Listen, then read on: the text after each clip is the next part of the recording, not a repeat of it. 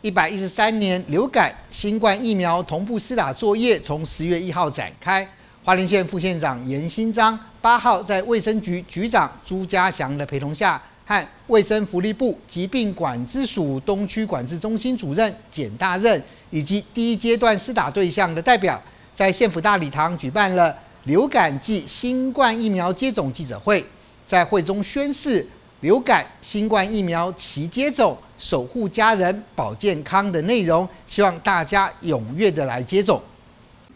副县长严新章表示，秋冬正是呼吸道病毒好发的季节，为了减少感染以及感染后所造成的重病以及死亡，接种疫苗是最有效防范流行感冒以及新冠肺炎的不二法门。所有的工作人员非常贴心，把安排的要为了大家的健康啊，能够快快乐乐，所以说哈，及早做这个准备，让我们花莲所有的乡亲都能够健健康康，跟刚才的那个表演的小朋友一样。啊，今天凡是来了以后，或者以后打了以后，通通健健康康、快快乐乐，祝福大家永远健康快乐。第一阶段开放六十五岁、原住民五十五岁以上长者、学龄前幼儿、学生、医师以及卫生防疫相关人员等十一类对象接种。第二阶段自十一月一号开始，流感疫苗开放五十到六十四岁无高风险慢性病成人接种。新冠疫苗则开放出生满六个月以上民众全面接种，